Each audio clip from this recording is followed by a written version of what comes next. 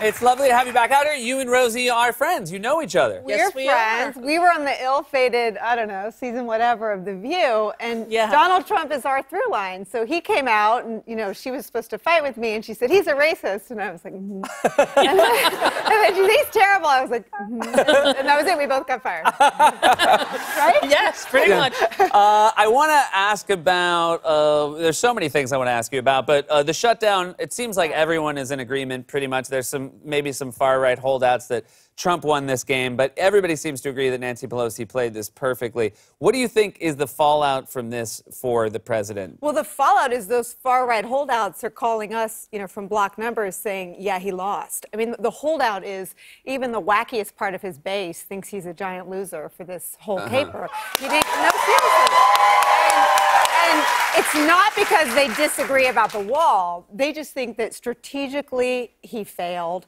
They think that he was owned publicly and privately by Nancy Pelosi. And it's sort of an insider point, but it was his son in law, Jared Kushner, who ran point on this. And they think he's not up for the task of running legislative affairs for the White House. There seemed it seemed at every level to know exactly what to do. Was the taking away of the State of the Union was taking away something that ceremonial from the president? Uh, a, a stroke of genius from, Look, from it's, Nancy. it's a mistake to project onto him more sophistication than exists. And for him, but, but ser- for him, taking away airtime, taking away the thing that we all recognize from the movies and whatnot about being president, standing there with the people behind you clapping or booing or whatever they're doing, that to him, those are some of the most um, sort of powerful and precious things to him about being president. So to take that away really did sort of cut, cut all of his leverage. And of course, it's happening on the same day that he capitulates there. Uh, Roger Stone is indicted. You uh, you traveled in Republican circles when he was in those circles as well, Roger Stone. What was your take on Roger Stone? I mean, he was at a firm that was so dirty. You just you just knew that if no one else would hire a bad dictator, like, oh well, that firm will do it. It was Stone Manafort who's awaiting sentencing for his felonies,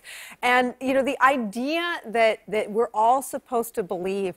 Chris Christie was on my show today, and I said, you know, everyone around the president has either been convicted or is, or is awaiting trial for the crime of lying about Russia. Is that a coincidence? It might be a coincidence. I mean, everyone that the president surrounded himself with was is either a convicted felon or has been charged with a felony. You talked to Chris Christie today, and it was a very long. Uh, talked to him for about 40 minutes, and it was a fascinating interview. I don't think it was that long. No, it? I was, but again, I I wanted to hear you interview him, but you know, he wrote this book, and it seems to be a thing that a lot of people leave the Trump administration, and then they take this one shot at sort of reframing their experience because they are now trying to, you know, re-enter polite Exist society.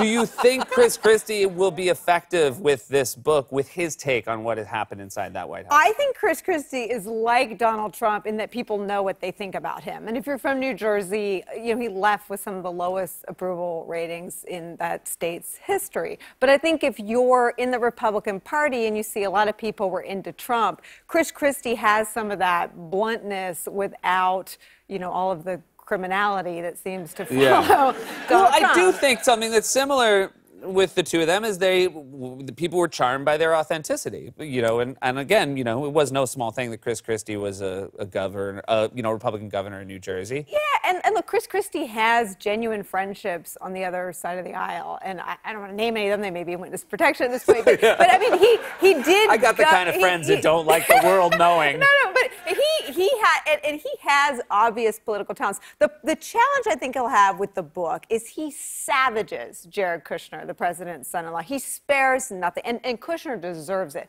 Savages Bannon. Bannon deserves it.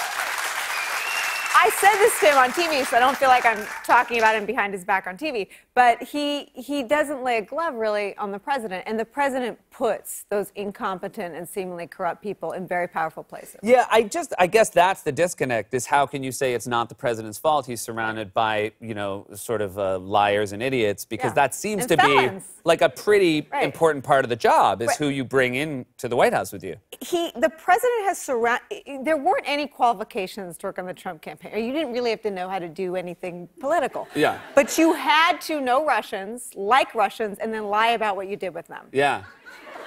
That's a, that's a weird thing to have. That's uh, a, I have you had that in special skills on the resume. I mean, yeah. maybe it was like, yeah.